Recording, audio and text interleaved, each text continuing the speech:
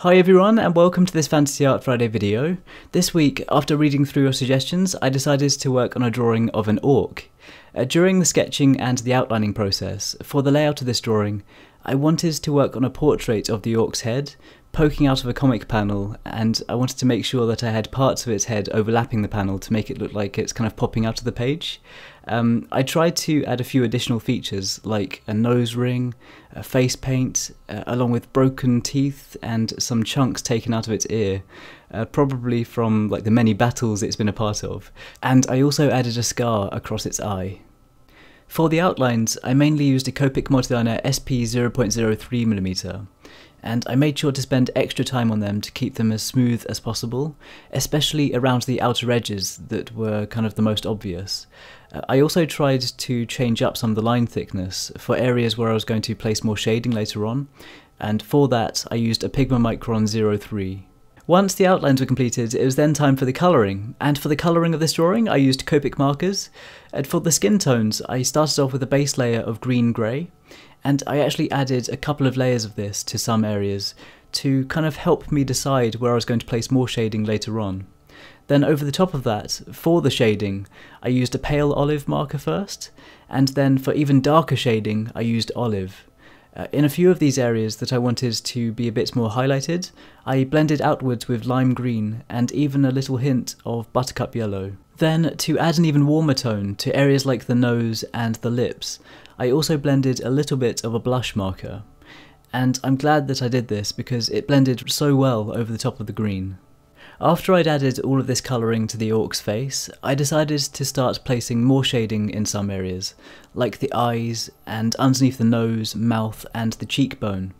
Um, I used cool grey markers for this, ranging between cool grey 3, 5 and 7, along with a black marker for some extremely dark areas. I'm actually very happy with the effects the cool grey markers gave, giving a, a, cool tone to some of the shaded areas that kind of helps to contrast the warmer tones of the highlighted areas. After that, to define some of the wrinkles on the skin amongst some of the darker shading that I just added, I used a white Prismacolor pencil to add some highlighting and I really love using this pencil because I think it's a great way to retain details like this. For the colouring of the orc's eyes, I used brown and crimson markers for the irises, along with light pink and buttercup yellow for the white of the eyes. Then, to add some extra detail to them, I added some shading with cool greys and some bright highlights with my Uniball white ink pen. Um, I also added a few of these highlights around the other areas of the orc's face, including the nose and the mouth, to help make these features stand out a little bit more. For the colouring of the teeth, I used Buttercup Yellow and Cool Grey 1 and 3, and then for the nose ring, I blended between Cool Grey 3 and 5, making sure to continue adding more highlights to these areas as well.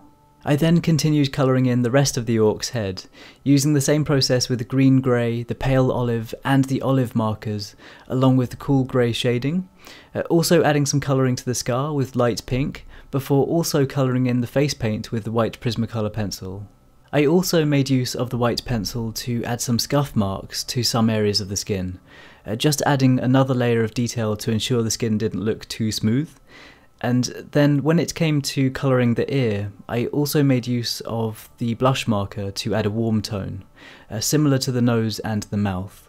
Once those details were complete, it was time to work on the orc's hair and beard, and I used Cool Grey 5 to add a base layer to these areas, and then I used Cool Grey 7 to add a layered effect, adding shading underneath some of the locks of hair.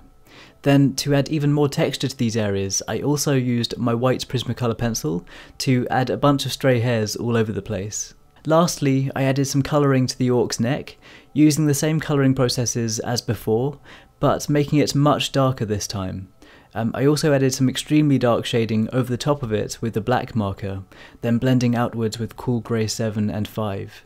Um, I wanted this shading to kind of help the effect that the orc's head is actually poking out of the panel, um, and hopefully that had a cool kind of 3D effect to it. Um, after this, I added some final touches using the white Prismacolor pencil and the white ink pen to add some texturing, and then the drawing was completed. Overall, this drawing took about 5 hours to complete, and I found it really enjoyable to work on.